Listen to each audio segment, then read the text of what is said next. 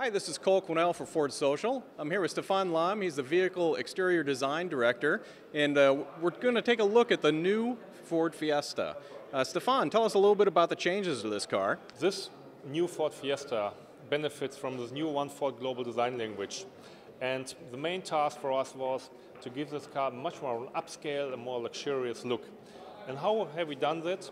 Basically, we integrated a new look for, for it and we moved this grille in a higher position. This already gives this car a much more of a prouder and more of an expensive look.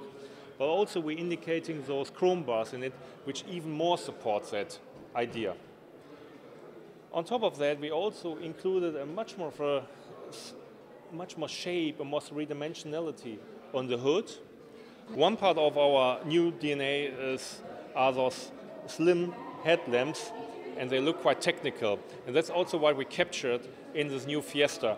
And we also integrated the daylight running lamp, and this gives this car a really unique look. So overall, the whole car looks much more luxurious, more upscale, and even more dynamic.